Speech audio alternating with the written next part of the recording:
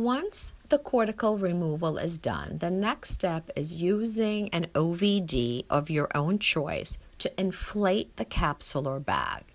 And I actually put a little bit right over the iris at the site of the incision to dimple the iris down to avoid any trauma to the iris stroma as I'm inserting the IOL. Different IOLs open at different rates, and of course, each implant has its own delivery device. As you can see, this is a one piece acrylic IOL. It takes a little bit longer for it to open up and for its haptics to kind of release.